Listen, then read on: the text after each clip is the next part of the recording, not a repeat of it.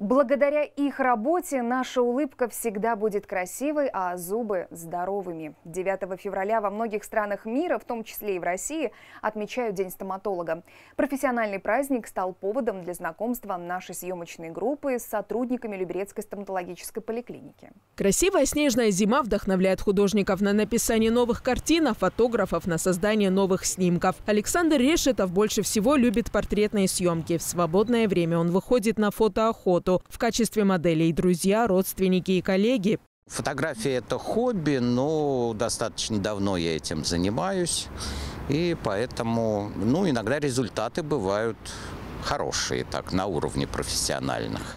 От улыбки станет всем светлее, уверен Александр Решетов. Именно поэтому во время фотосессии он часто призывает моделей показывать радостные эмоции. Улыбайся, улыбайся и на меня смотри, улыбайся, прямо смейся. Сейчас анекдот еще расскажу, и совсем ты засмеешься.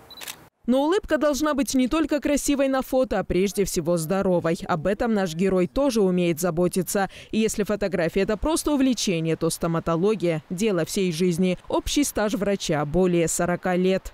Стоматология – это немножко особая часть медицины. Очень быстро получаешь все-таки, может, тут и фотография, вот как-то визуальное удовлетворение. Сделал красивую пломбу, сделал красивый там зуб.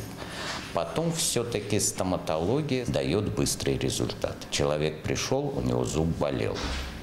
Практически ну, 70% случаев, когда мы можем эту боль снять сразу – за годы работы в этой сфере Александр Решетов стал свидетелем многочисленных этапов развития отечественной стоматологии. За плечами богатый профессиональный опыт и армия благодарных пациентов. Довольно-таки давно я знакома с этим доктором, но, наверное, уже на протяжении 15 лет доверяю свои зубы только этому доктору. А у Дениса Елисеева карьера стоматолога только начинается. В Люберцах молодой доктор работает чуть больше года, лечит маленьких детей и подростков. Стаж небольшой, но результаты уже есть. На сегодняшний день он возглавляет детское отделение стоматологической поликлиники. Детские врачи – это первый пласт, скажем так, когда дети знакомятся с медициной. Вот, и мы от нас очень много зависит. Как в последующем человек будет следить за своим здоровьем, как он будет относиться к врачам. Каждый человек хотя бы раз в жизни обращался за помощью к стоматологу. Не секрет, что для многих визит к зубному врачу – настоящее испытание. Но чтобы избежать экстренных ситуаций, к нему нужно обращаться два раза в год. Луиза Игиазарян, Сергей Гвоздев, телеканал ЛРТ.